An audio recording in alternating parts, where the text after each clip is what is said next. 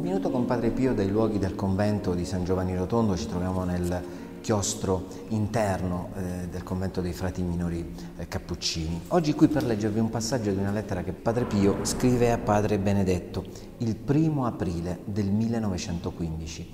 Ecco, è mh, ormai mh, diciamo l'ultimo anno di permanenza nella sua eh, Pietrelcina perché poi a distanza di poco meno di un anno sarà riportato in convento, nel convento di Foggia a Sant'Anna.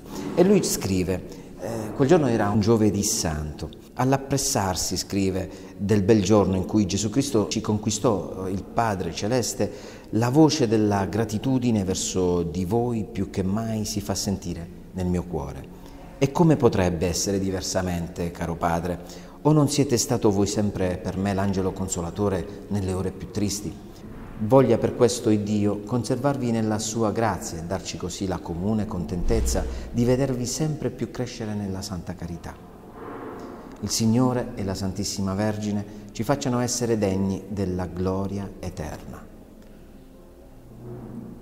Per carità, poi c'è una richiesta di Padre Pio, non mi negate il vostro soccorso, non mi negate i vostri ammaestramenti, sapendo che il demonio più che mai va infierendo contro la navicella del mio povero spirito. Padre mio, non ne posso proprio più, mi sento venir meno tutte le forze, la battaglia è proprio al suo ultimo stadio. Da un momento all'altro mi sembra di rimanere soffocato da questa tribolazione. Ahimè, chi mi salverà? Sono solo a combattere di giorno e di notte contro un nemico che è così forte e potente. Chi vincerà? A chi sorriderà la vittoria? Si combatte estremamente da ambo le parti, Padre mio. A misurare le forze di ambedue le parti mi veggo debole, mi veggo fiacco di fronte alle schiere nemiche. Sono sul punto di essere schiacciato, di essere ridotto al nulla. Breve, tutto calcolato, il vinto a me sembra che debba propriamente essere io. Ma che dico mai? È possibile che il Signore lo permetterà? Giammai.